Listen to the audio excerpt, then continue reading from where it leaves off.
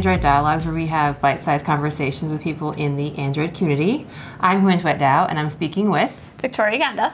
And Victoria and I are in Boston for DroidCon Boston, Yay. where we're both speaking.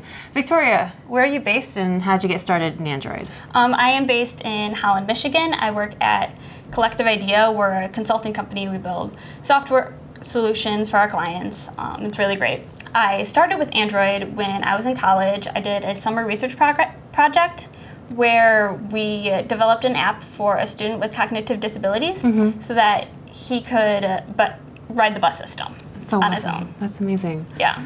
So just like I was on the fence if I wanted to like get into this like technology stuff and mm-hmm. programming and just seeing um, how I could use it to help people. That was like, yeah, I, I want to do this. Well, we're really happy to have you over in tech and um, you, um, and talking about certain things like what you're going to be talking about this week at DroidCon Boston, Kotlin. Yes. Um, for people who may have not heard of Kotlin or aren't too familiar with it, can you kind of explain quickly what it is? Yeah, definitely. It's a language developed by JetBrains.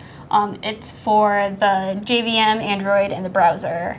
Um, it's a language that is functional and statically typed and reduces a lot of the things that people don't enjoy about programming in Java. Yeah, boilerplate, die, just yes. that kind of thing. I, have actually been using Kotlin for about six to seven months, and I mm. absolutely adore the the, the stuffing out of it. I, am really excited, and I'm mm-hmm. extremely excited about uh, your talk, Victoria, because you're talking about something very particular with Kotlin. Yes. And what is that? I'm talking about how you can decompile the Kotlin bytecode into Java to kind of get a better understanding about it. And that is really awesome because I think one of the um, the kind of intimidating parts about learning a whole new language is kind of understanding the ins and outs of it. You know, mm-hmm. like I, I've done Java since university, so I feel like well, I'm not an expert by any means. I, I, feel like I know certain things. I yeah. know like how I should write my code in a certain way to avoid like you know using you know doing too much object allocation or mm-hmm. you know running certain traps. But I have no idea what I'm doing with Kotlin, um, and it's kind of interesting because I, I, understand that you know the Kotlin is being um, compiled down to Java bytecode. Right. So I'm like I know how to write decent Java. How do I write decent Kotlin? And yeah. and and I, I I just find that the idea of being able to see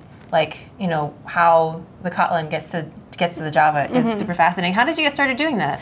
Um, I was reading a blog post by Piotr about um, Kotlin delegation. Mm-hmm. And the delegation was super, super interesting. Mm-hmm. But then also he mentioned decompiling Kotlin bytecode into Java, and he had an example there. I was like, this is kind of neat. Like, I want to try it. So I tried it out. The first thing I tried was um, on like a data class.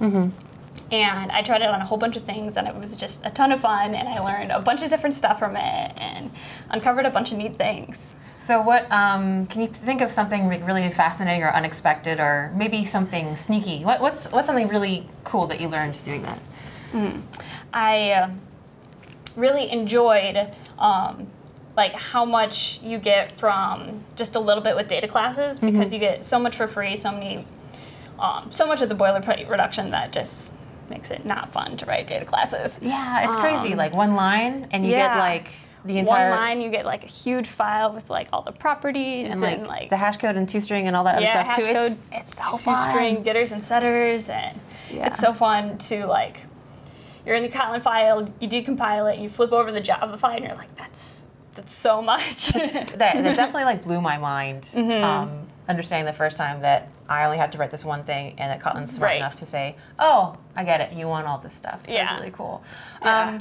Um, has it like changed the way that you write Kotlin at yeah, all? Definitely. It's changed the way that I write Kotlin just because I understand like a little bit like different how it's doing different things, and I'm starting to as I do more of them like be like, oh, this way might be a little bit more optimized and stuff like that. Mm-hmm. And then it's also changed the way that I write in Java as well. Really? Yeah. Um, I'm for one more aware of like different like null checks that I should do that are usually forced in Kotlin. Absolutely. And then on top of that, I can more quickly recognize stuff like a map implementation, and I'm sitting there wishing I could just do .map, but I recognize it faster.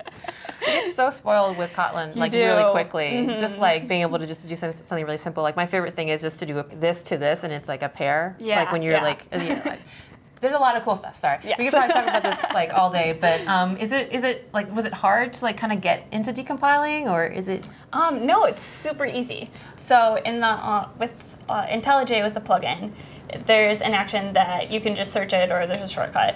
Um, but it's just show Kotlin, show Kotlin bytecode, and then in that view, mm-hmm. there's just like this big button that says decompile. So you just click it, and you like have that entire Kotlin file decompiled into Java. Okay, that sounds pretty easy. That sounds like something that everybody who is like looking at Kotlin could and probably should do. Yeah, I mean, it, it sounds like super interesting. Yeah, and just to see like what what it's actually doing like under Mm-hmm. the hood seems pretty cool. Um, and like you said, you started with data classes. Like, Yeah. is that kind of like what you would recommend to other people that you know want to start decompiling? Yeah, Um, I mean that was definitely one of the most fun things for me. Um, and really, like you could do that, or like really just pick something small that is interesting to you. Um, like don't do like this huge file. I mean, you could do a huge file, but it produces a ton more Java for you to look through. so just start with like a small file or like a small element of like something that you're curious about. Then that's what- that's what I'd recommend. Awesome. So Yeah. um, I'm pretty sure they're recording all of the talks at DroidCon Boston. So Mm-hmm. I mean, definitely, if you're interested in Kotlin, um, if you're already doing Kotlin, definitely um, check out Victoria's talk. And if you're kind of like on the fence about Kotlin a little bit, uh, this might be a way for you to kind of like, you know, kind of make Kotlin something a little more familiar by taking a look at the Java that it spits out. um, Victoria, thank you so much. I Of am course, thank you for having me. absolutely excited about your talk. Um, because again, like, I've become like an official Kotlin nut, so I'm really, really, really um, excited to see what you have to um, show us. And uh, if people uh, wanted to find you on the internet, how can they do that? Um, you can find me on Twitter at ttgonda. That's um, T T G O N D A. Awesome. We'll have it like somewhere like right around here for everyone to uh, check out. Perfect. But thank you so much, Victoria. And thank, Thank you for having me. Oh, absolutely. Wonderful. It was absolute pleasure. And we will see y'all next time. Yes. Bye. Bye.